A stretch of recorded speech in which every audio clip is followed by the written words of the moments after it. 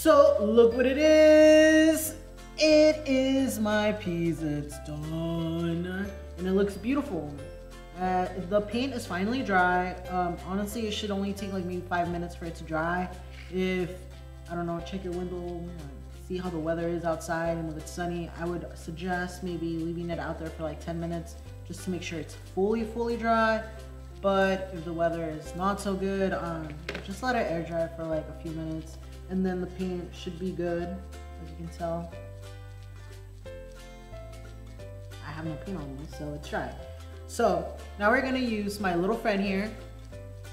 This is gonna be your best friend. I swear it's gonna be your best friend for any project that you may have. Mod Podge.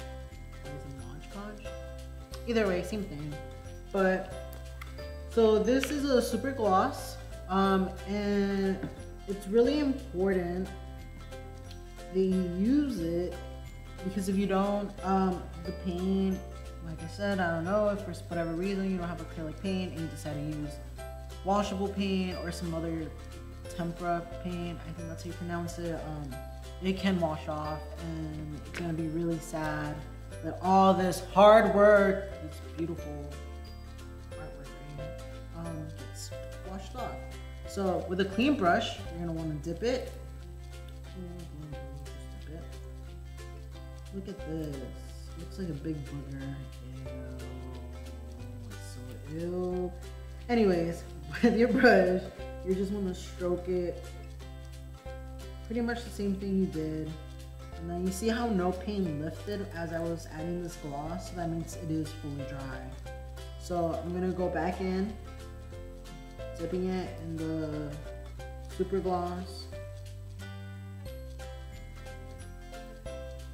Well, I can already see this beautiful, vibrant red. Wow, look at the difference. I don't know if y'all can see, but look.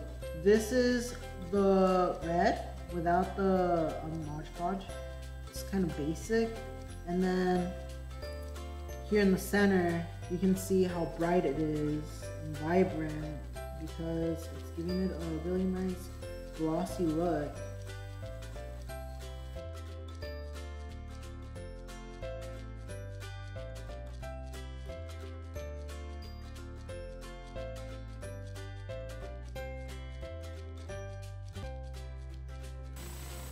you're just gonna want to let that bad boy dry out for a bit. I would say maybe 10 to 20 minutes.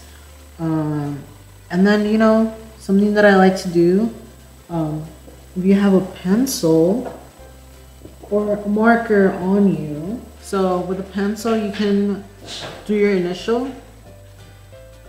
Oh, as you can tell the back is not dry, but it's alright because we can pretend we're engraving it. And then once it dries out back. Put my initials in there so whoever gets it knows that I made it. And look still glossy. So now this is this was a pretty short video on how to do ceramics. You just did it. You did it. You did this. And I hope you really liked it and I hope you really enjoyed it and had fun with me. And I'm sorry that I talk a lot, but I think you need to know all the tips and tricks on how to make something look really good, but most importantly, high quality, good quality in every aspect. Um, and something that's gonna last you for a really long time. Mostly if you're giving it to a friend or your parents or anyone that you think may like a little art piece that you made. Um, and so with that, I just want to tell you thank you. And I hope you join me next time to see the next cool thing we're going to do. It may be an art thing, it may be a cooking thing.